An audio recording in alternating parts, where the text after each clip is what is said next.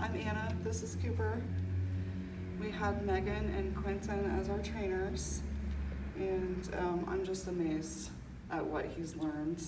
He's so smart, and it seems like he's picked it up very, very quick, and I'm excited to take him home. I can't wait.